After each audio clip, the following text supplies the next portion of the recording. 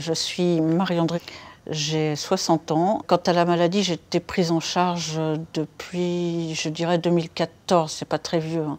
Bonjour, je m'appelle Karine, j'ai 45 ans et j'ai quatre enfants, j'habite à Gap. Moi j'ai été diagnostiquée à 15 ans. J'ai eu le diagnostic qui a été posé, enfin j'ai eu une échographie des reins, on a vu que j'avais des, des kystes, on m'a dit qu'il fallait que je, surveille, que je sois surveillée. euh, mais au début c'était juste mon médecin traitant qui me faisait passer une échographie tous les, tous les 2-3 ans, 3 ans.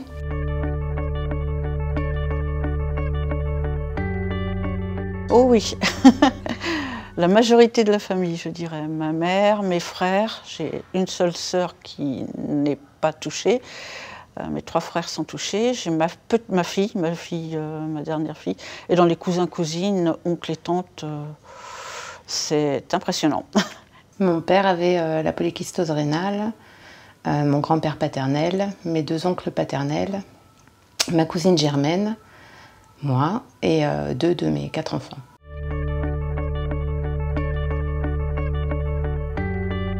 Ben non, parce que le diagnostic, je l'ai eu assez tôt.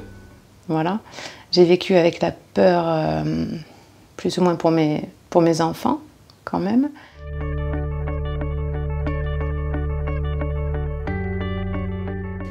Ce qui m'a aidé, euh, c'est une personne, se- seulement une personne. En fait, euh, c'est mon oncle.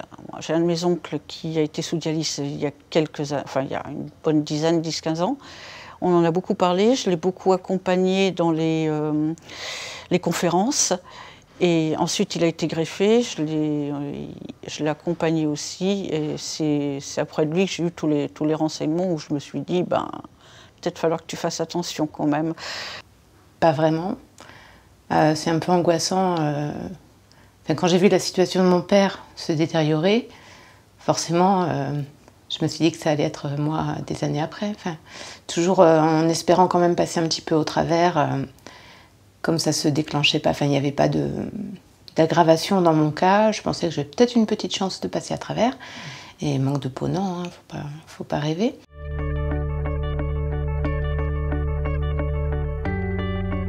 Non, parce que je ne savais pas que j'étais malade avant d'avoir les enfants. J'ai 60 ans et, il y a, je dirais, euh, à cette époque-là, ben, il n'y avait rien pour soigner cette maladie-là, donc on n'en parlait pas, on l'ignorait, c'était bien plus simple. On attendait d'arriver aux dialyses et, euh, pour faire quelque chose. Quoi. Donc c'est vrai que non, ça n'a pas impacté. Par contre, si j'avais su, je ne sais pas.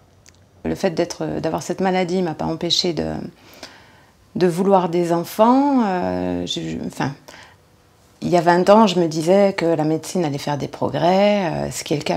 Mais euh, voilà, j'étais un petit peu optimiste avant, en me disant que ça allait forcément évoluer, que ces kystes, on allait pouvoir les enlever, que de toute façon, il y a une chance sur deux de, transmettre aux enfants. Disons que comme j'avais pas l'impression d'être malade, c'est une maladie invisible qui, qui progresse sans symptômes.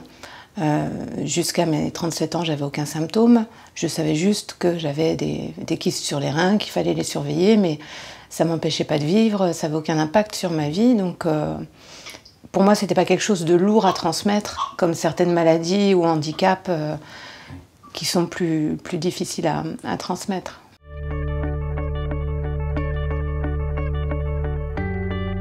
Alors avec ma famille, c'est-à-dire mon mari, mes enfants, on en parle librement. Je trouve que c'est important. Avec mes, parents, frères, sœurs, on n'en a jamais trop parlé. Euh, moi, je suis pas trop pour euh, justement les tabous euh, par rapport à la maladie.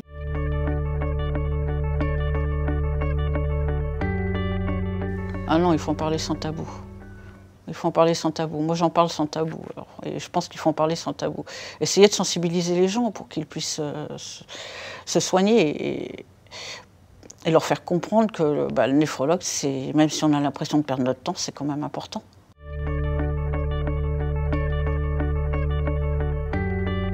Alors, les, premiers symptômes datent euh, d'il y a peut-être une vingtaine d'années, mais il n'y a pas de prise en charge particulière. J'ai fait une pyélonéphrite, bon, ok, j'ai fait une pyélonéphrite.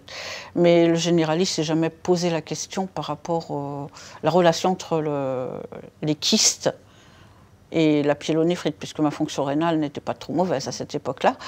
Après, à partir de 2004, j'ai eu quand même des, des, échographies de contrôle. Comme ma mère avait subi une intervention et qu'on avait découvert sa polykystose à ce moment-là, on s'est un petit peu plus intéressé à moi.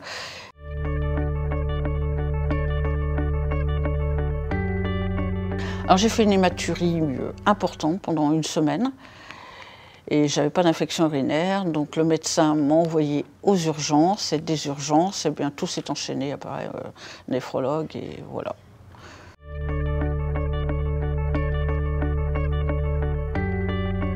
La maladie en elle-même, ben, le néphrologue, j'y allais tous les ans. Euh, le médecin généraliste, comme je faisais de l'hypertension, ben, tous les 3-6 mois. Hum, les infirmières, alors moi j'ai la chance de travailler dans un cabinet médical et j'ai une infirmière à Zalé. Donc c'est vrai qu'on en a beaucoup discuté. Elle m'a cherché euh, des, sites où je pouvais aussi euh, m'aider. J'ai consulté une nutritionniste avec mes enfants euh, de ma propre initiative. Parce que mon néphrologue m'avait dit de limiter le sel, mais ça je le fais depuis toujours. Et de limiter les protéines, mais c'est à peu près tout. Et par rapport aux enfants, euh, dont un adolescent en pleine croissance. Je voulais voir un petit peu euh, s'il y avait quelque chose un peu plus précis.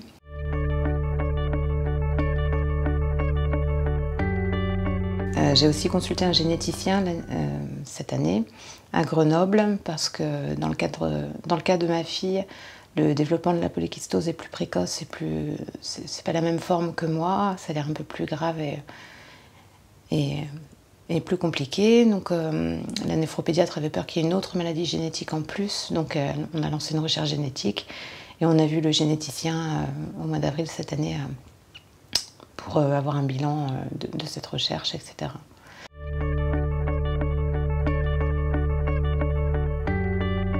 Avant de rencontrer l'équipe soignante, rien, sauf avant d'accompagner mon oncle, je dirais, à des conférences, rien rien, à part ce qu'il m'avait dit.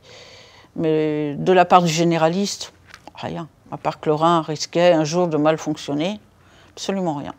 J'étais assez bien renseignée sur la polykystose, euh, vu le, contexte familial. Euh, la maladie est quand même bien présente dans ma famille. Donc euh, bah, je, savais que c'est une maladie qui pousse les reins à fabriquer des kystes. ces kystes grossissent et se multiplient et à terme asphyxient le rein, les reins. Et euh, on peut avoir aussi des kystes dans le foie. Moi, j'en ai aussi dans le foie, mais c'est pas, pas gênant. Voilà, euh, à terme, on arrive à l'insuffisance rénale terminale. Donc, il faut passer en dialyse. C'est une machine qui nettoie le sang à la place des reins. Et après, quand on peut bénéficier d'une greffe, euh, la greffe est proposée. Je savais pas mal de choses aussi sur la transmission, qu'il y a 50% de, de risque de transmission aux enfants.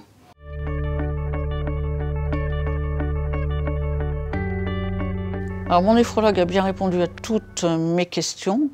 À part ça, euh, des informations claires, oui, mais pas suffisantes. On ne nous prévient pas, quoi, nous dire bah, si, si, vous, avez mal au ventre, si vous avez euh, une hématurie, il faut venir en urgence. Ça, on ne nous prévient pas vraiment.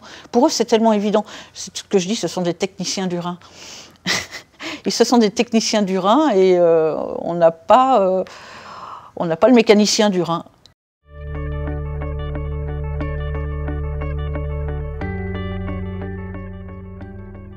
Alors les associations, euh, bah, il y a votre site d'abord. En tout premier, je dirais votre site parce que c'est là où on peut avoir des échanges, des, échanges euh, vraiment euh, libres et où bah, les gens nous répondent très facilement et, nous aident beaucoup, hein, nous aident énormément.